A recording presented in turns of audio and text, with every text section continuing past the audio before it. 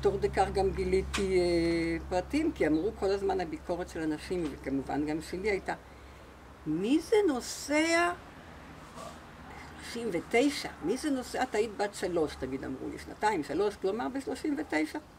מי זה נוסע ב-39 לאירופה? כבר הייתה מלחמה. וזה באמת שיגע אותי.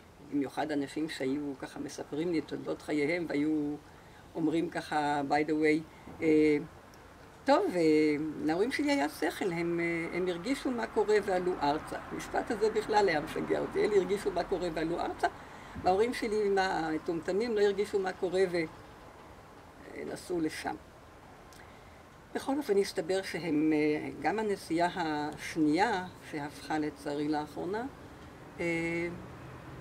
הייתה ב-38.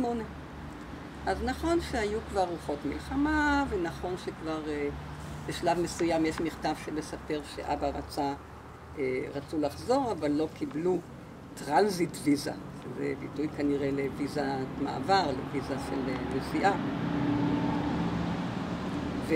ונתקעו, וב-1940 נכנסו הרוסים לליטא, ומי שבאמת תקע אותנו בליטא זה היו הרוסים.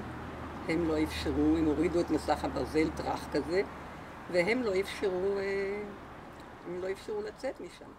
ב-41 כבר נכנסו...